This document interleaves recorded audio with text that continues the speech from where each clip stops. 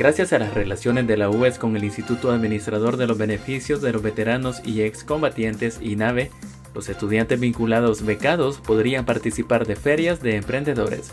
Esta posibilidad fue discutida en una reunión sostenida por la Secretaría de Vida Estudiantil y el INAVE, que permitiría impulsar un proyecto de fortalecimiento de capacidades de emprendedores estudiantes de la UES a través de talleres formativos, así como ferias donde darán a conocer sus productos en los diferentes campus del alma mater.